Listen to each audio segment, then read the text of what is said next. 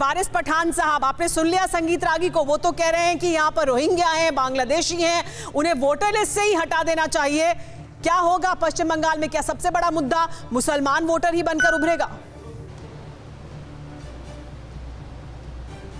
ये सुमेरा जी, हम लोग डेमोक्रेसी में यकीन रखते हैं, डेमोक्रेटिक कंट्री में रहते हैं, चुनाव लड़ने का अधिकार जिस तरह भाजपा को है, टीएमसी को है, उसी तरह एमआईएम को भी है। हमारी पार्टी भी चुनाव लड़ेगी पॉलिटिकल पार्टी है तो ज़ाहिर बात है चुनाव तो लड़ेंगे।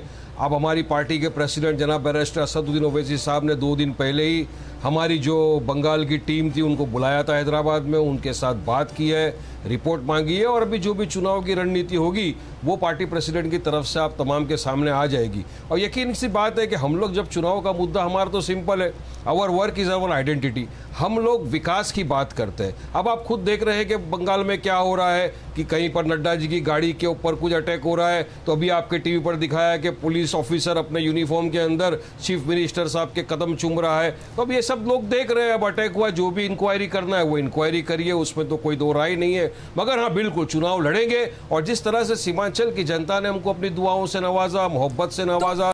परवाह देश की।